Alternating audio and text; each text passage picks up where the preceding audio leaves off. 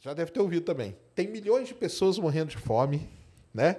E a gente que está aí gastando milhões, né, para lançar um satélite, para ir para a estação espacial e tudo mais. Aí eu sempre explico pro pessoal que tem a NASA solta todo ano aquele aquele volume dela de spin-offs, né?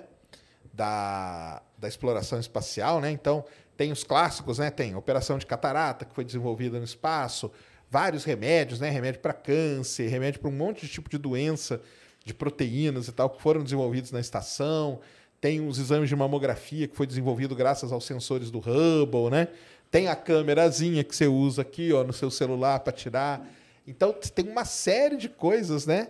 Que vem do desenvolvimento para a tecnologia espacial, né?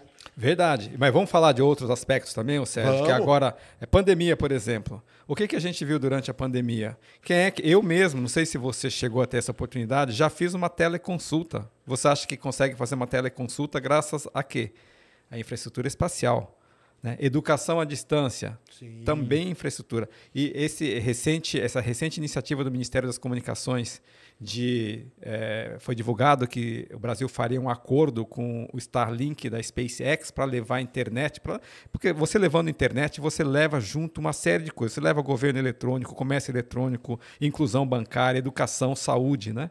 Então, é, digamos assim, isso é, é, uma mostra clara é que nas atividades do seu dia a dia que são afetadas pela infraestrutura espacial.